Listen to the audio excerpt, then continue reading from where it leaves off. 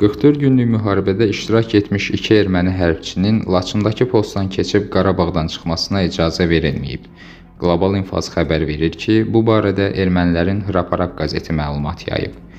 Azərbaycan hərbçiləri bildiriblər ki, həmin şəxslər müvafiq qanunvericilik hazırlandıqdan, məhkəmə prosesləri və ya istintaq başa çatdıqdan sonra Qarabağdan çıxa bilərlər, deyə nəşr yazıb.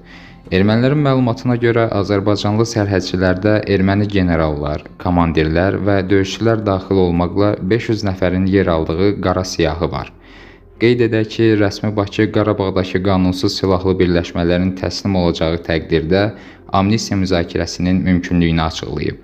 Qarabağdakı əməliyyatlarda iştirak etmiş erməni silahlıları hazırki vəziyyətdə terrorçudular.